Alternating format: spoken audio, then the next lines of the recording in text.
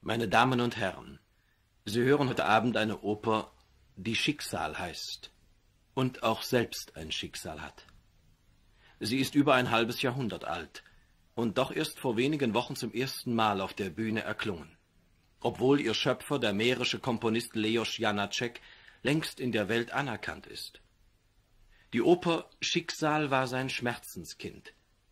Janacek komponierte sie als reifer, fast 50-jähriger Mann, er stand damals im Jahre 1903 auf der Höhe seiner Meisterschaft. Eben erst hatte er seine Oper Jenufa vollendet, die später ein dauernder internationaler Erfolg wurde. Janacek hing jedoch mit besonderer Liebe an seiner Oper Schicksal.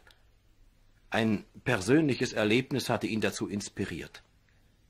Der Held der Oper ist ein Komponist, der an dem Zwiespalt von Kunst und Leben, von Schaffenswillen und Unvermögen zerbricht. In einem blind waltenden Schicksal sah Janacek das Sinnbild dieses tragischen Scheiterns. Er war vielleicht zu leidenschaftlich beteiligt am Vorwurf, um das, was er in genialen musikalischen Visionen in Tönen sagen konnte, auch in ein objektiv verständliches Textbuch zu kleiden. Der Bearbeiter der deutschen Fassung der Oper, Kurt Honolka, hat nun versucht, unter unveränderter Beibehaltung der Musik und der Charaktere der Figuren dem Werk eine neue, klarere Form zu geben. Das erste Bild der Oper wie auch das letzte geben eine Rahmenhandlung. Auf der Bühne eines Opernhauses probiert man die Schlussszene einer neuen Oper des Komponisten Gifny. Das Werk wirkt auf die Sänger befremdlich. Sie machen sich lustig darüber und improvisieren einen komischen Ballettschluss. Da erscheint der Komponist selber auf der Probe. Man bittet ihn, sein Werk näher zu erläutern. Gifny beginnt zögernd, und die Chorsänger merken bald, dass er sein eigenes Leben erzählt. Seine Oper ist ein Schlüsselstück, ihr Held Lenski ist in Wirklichkeit Gifny selbst. Der Komponist beschwört Bilder der Vergangenheit. Wie er von Mila, seiner Geliebten, getrennt wurde, weil deren Mutter sie zwang, statt des bettelarmen Komponisten einen reichen Mann zu heiraten.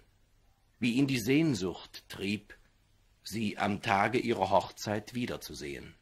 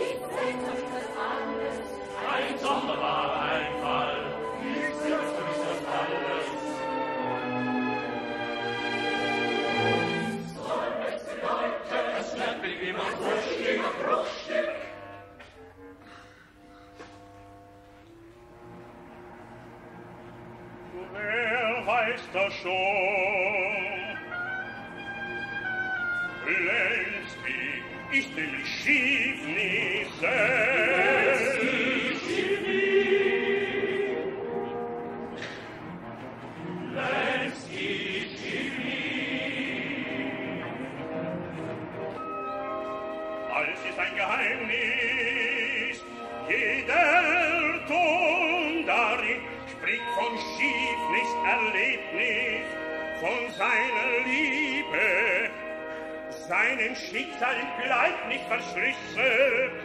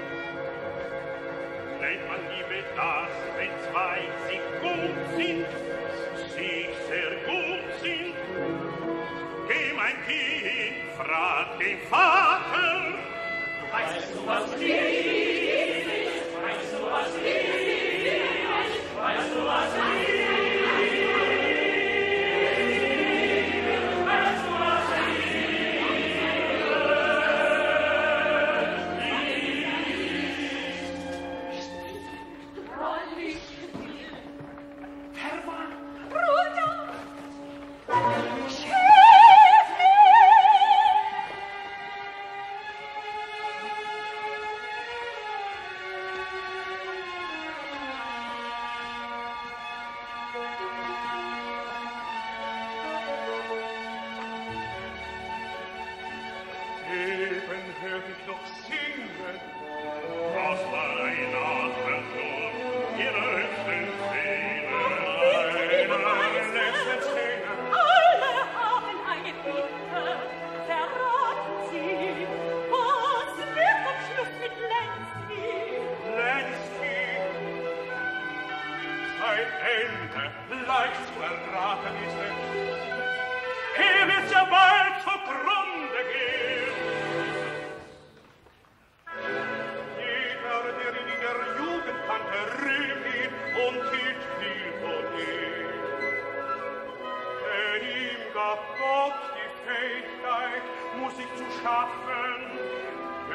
dein Bilder Weg zu ihnen, endlos los in die Fülle des Einfalls zu.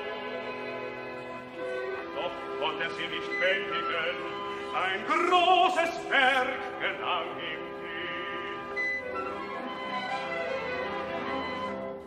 Doch da geschah jenes Wunder, der drei Rosen,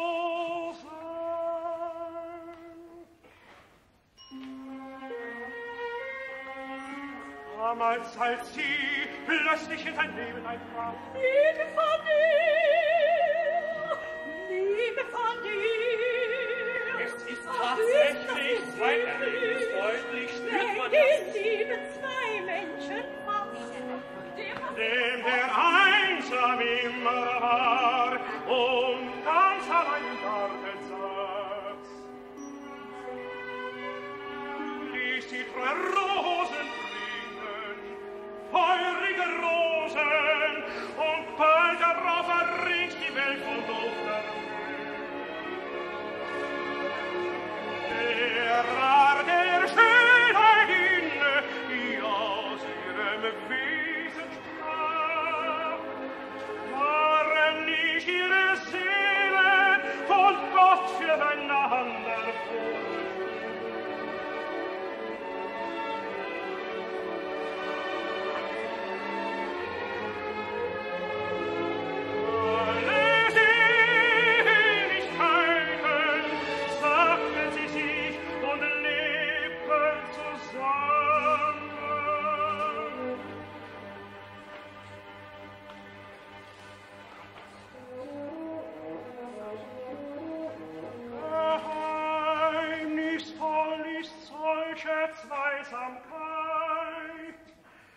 mit einer Quelle sich der Strom speist, wuchs in die neue Schaffenskraft.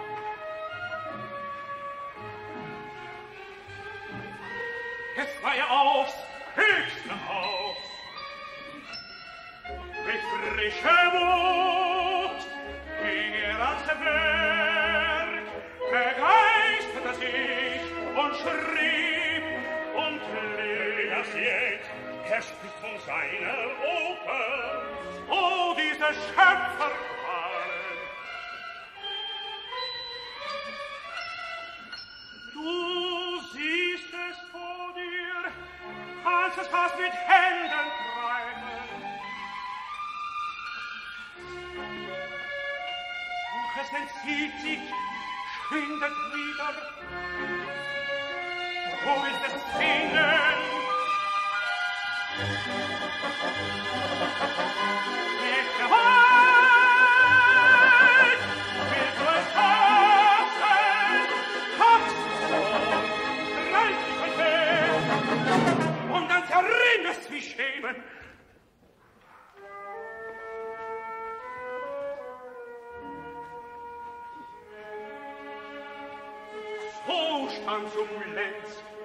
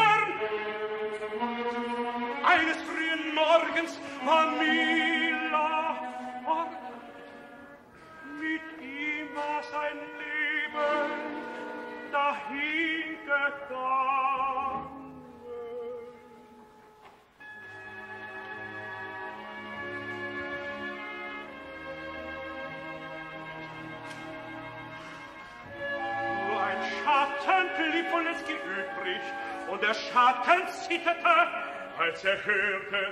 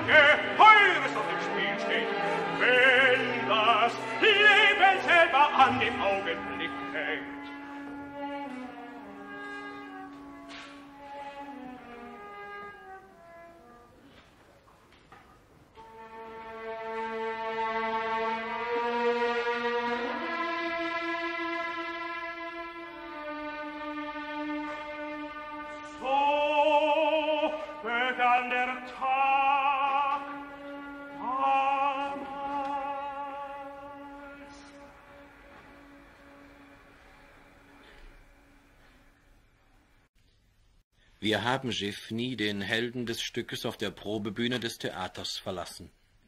Nun blendet die Handlung zurück, und es wird das im Bilde lebendig, was Giffny erzählt.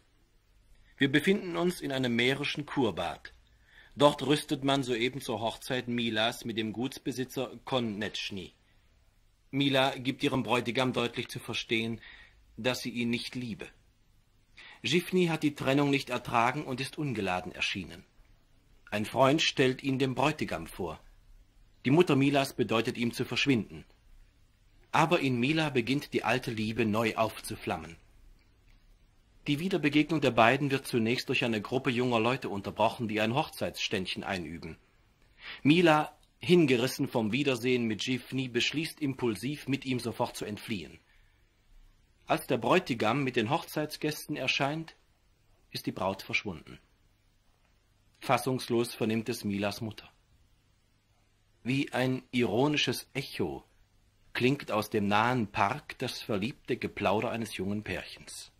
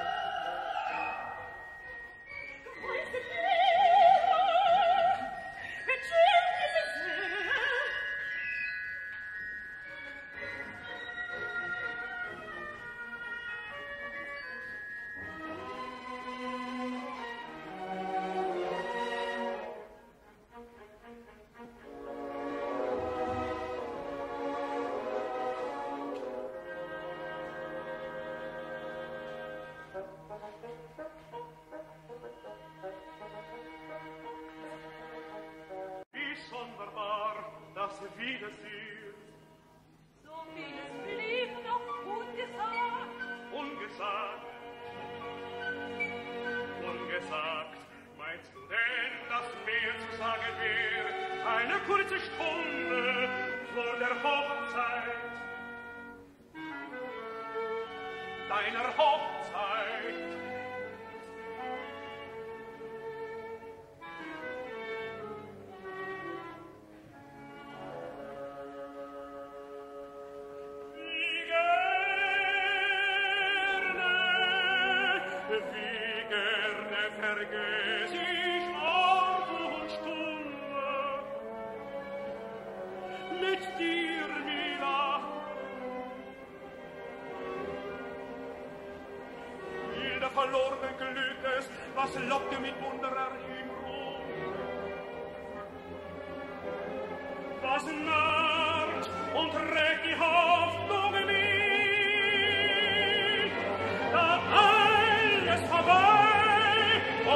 Thank you.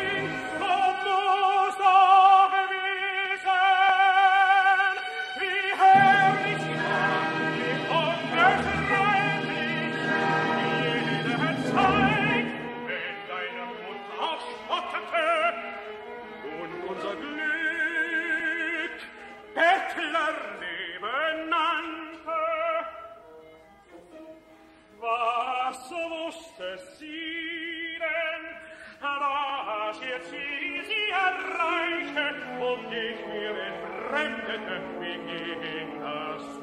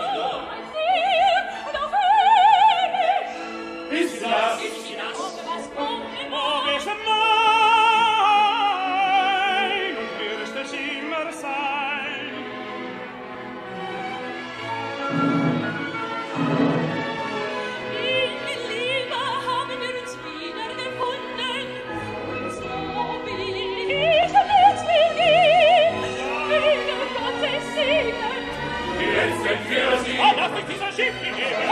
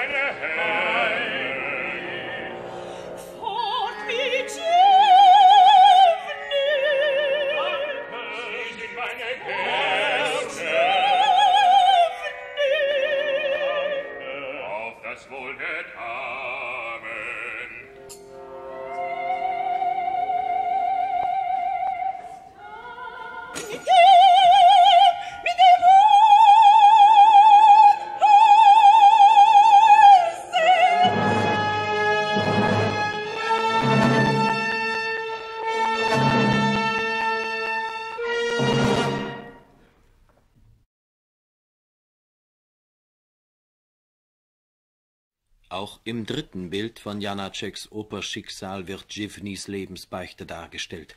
Jahre sind inzwischen vergangen. Jahre, über denen die Armut lastete und die misstrauische Eifersucht Givnys. Mila hatte die Spannung nicht mehr ertragen und ihn zusammen mit dem Töchterchen, das sie ihm geboren hat, verlassen. Nun kehrt sie zurück. Givny begrüßt sie leidenschaftlich. Nun werde sich alles zum Guten wenden, seine Oper ist zur Aufführung angenommen. Mit neuer Zuversicht blicken beide in die Zukunft. Aber er fühlt, dass er sein Werk doch noch nicht bewältigt habe.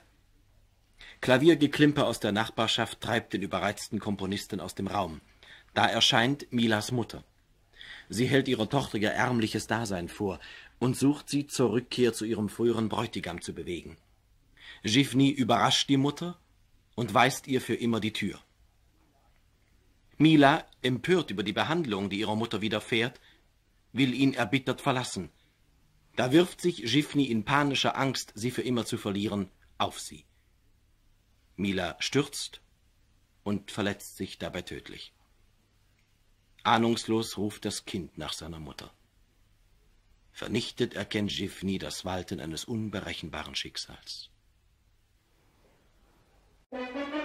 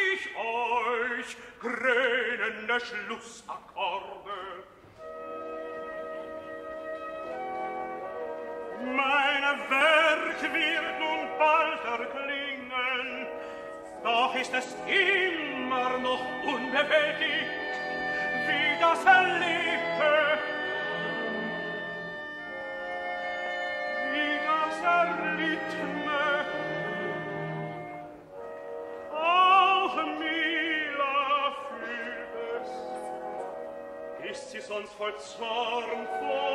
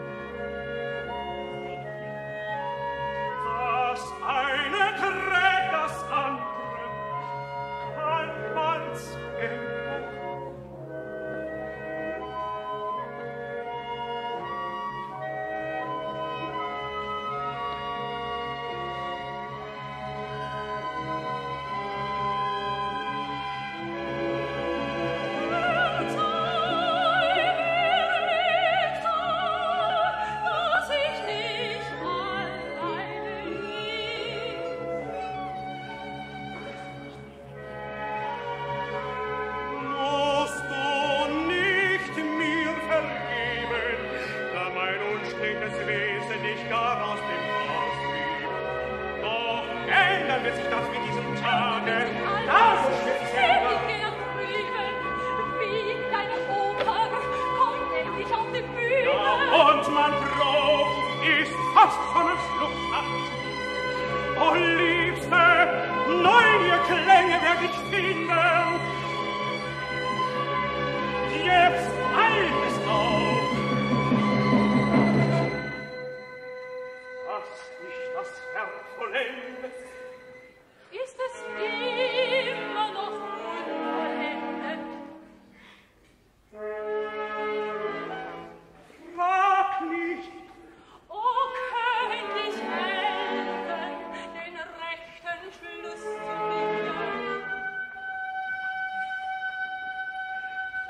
final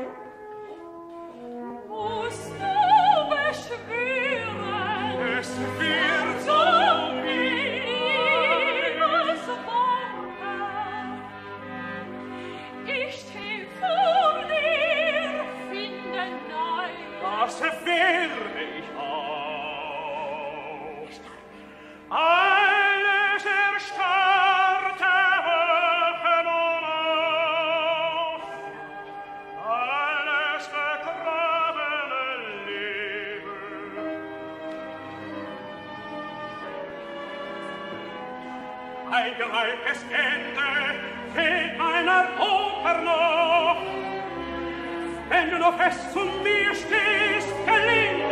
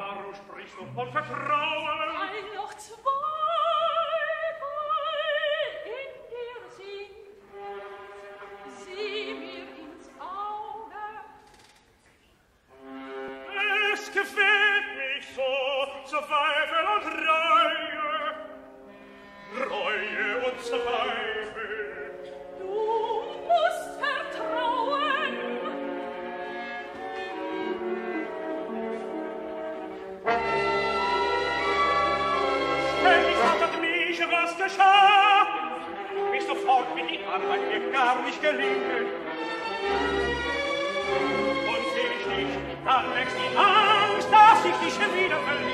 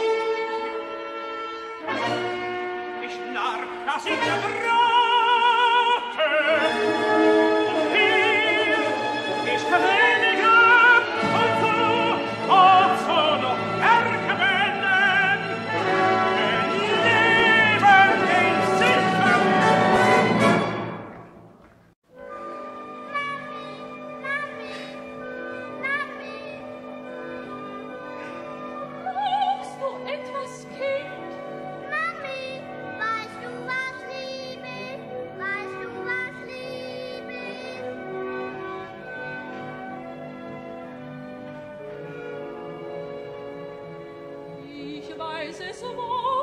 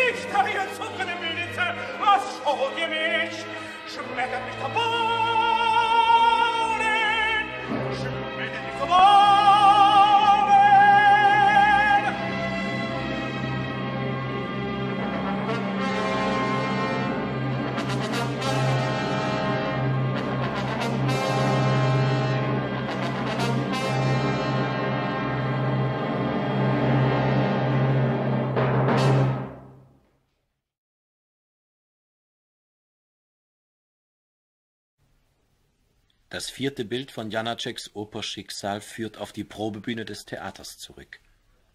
Givny hat seine Lebensbeichte beendet.